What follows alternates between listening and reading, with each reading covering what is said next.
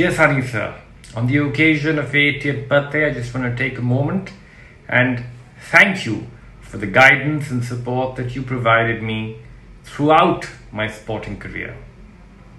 Shooting is such an isolating sport, and one needs a patient and understanding mentor such as yourself to keep us going through the tough times. Thank you for always being a pillar of strength and nurturing me to unfurl my fullest potential.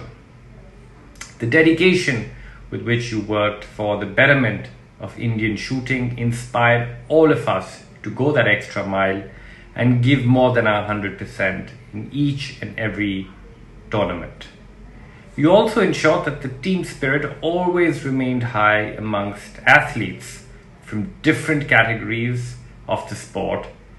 And it is definitely not a surprise that all four of our four Olympic medals that India has won in shooting came during your glorious tenure as coach of the national team.